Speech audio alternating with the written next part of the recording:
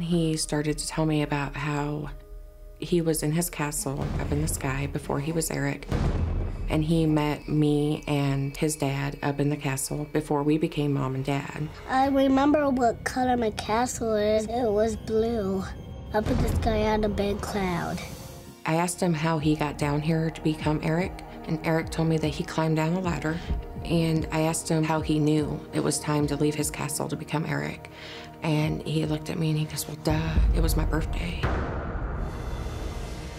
As we approached Eric's third birthday, he was getting super excited about it and would ask me all the time to show him on the calendar when his birthday was. Eric's birthday is June 21st. I would tell Eric, This is your birthday, and point to June 21st. And he would say, No, that's my birthday, and point over to June 26th.